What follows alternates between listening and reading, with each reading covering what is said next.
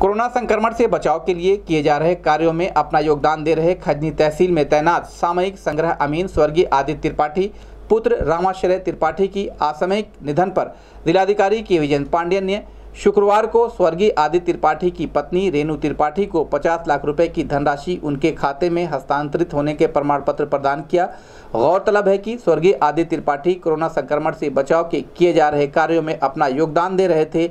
इस दौरान corona virus के संक्रमण से प्रभावित होकर बीआरडी मेडिकल कॉलेज में उनकी मृत्यु हो गई, जिसको संज्ञान में लेते हुए जिलाधिकारी के विजय पांडियन ने पीड़ित परिवार को ढांढस बताते हुए शुक्रवार को अपने कार्यालय में पीड़ित परिवार को शासन के निर्देशानुसार 50 लाख की आर्थिक सहायता उपलब्ध कराई, जिसके संबंध में एडीएम फाइनेंस राजेश कुमार सिंह ने कहा कि कोरोना वॉरियर्स के रूप में कार्य कर रहे संग्रह अमीन, स्वर्गीय आदित्य त्रिपाठी की धर्मपत्नी को 50 लाख की धनराशि दी गई है। इसके पहले मंडलायुक्त के पीए स्वर्गीय संजय शर्मा की धर्मपत्नी को 50 लाख रुपए की आर्थिक मदद दिया जा चुका है। इस संबंध में गोरखपुर न्यूज़ से बात करते हुए एडीएम एफआर राजेश कुमार सिंह ने कहा।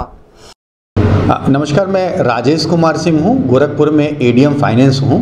हमारे जनपद में अब तक जो सरकारी कर्मचारी थे, कोविड के दौरान ड्यूटी कर रहे थे, ऐसे दो लोगों के साथ दुर्घटना हो गई। एक संजय जी थे, जो माननीय आयुक्त महोदय के पीएस का कार्य कर रहे थे।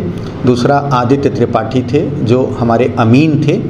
राज्य सरकार ने तत्परता के साथ दोनों लोगों को, संजय जी को भी और आज आदित्य त्रिपाठी जी को भी 50 लाख की स्वीकृति दी दी थी। आदित्य त्रिपाठी की पत्नी सुश्री रेणु त्रिपाठी जी को जिलाधिकारी महोदय के द्वारा आज प्रतीकात्मक प्रमाण पत्र दिया गया है और 50 लाख रुपए उनके अकाउंट में इसके पहले ही भेज दिया गया है।